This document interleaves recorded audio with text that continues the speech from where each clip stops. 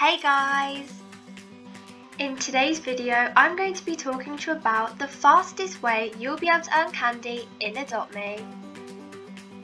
Let's get started!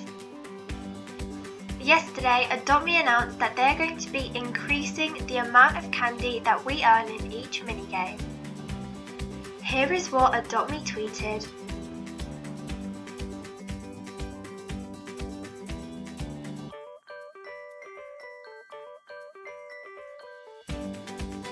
Adopt Me are increasing the amount of candy that we receive in each minigame because of the days we missed due to the Roblox shutdown. However, Adopt Me aren't extending Halloween events, the Halloween event will still be leaving in 15 days. I'm so happy Adopt Me are increasing the amount of candy we earn. We will probably be earning double the candy we were before in the same amount of time. Hopefully the update will be released soon so we can earn a lot of candy quicker than before.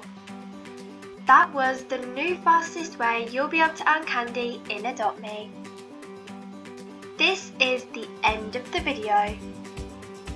I hope you guys enjoyed this video.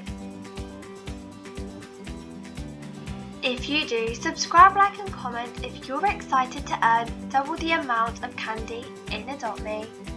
Make sure you turn your post notifications on so you never miss any of my videos. See you in my next video. Bye!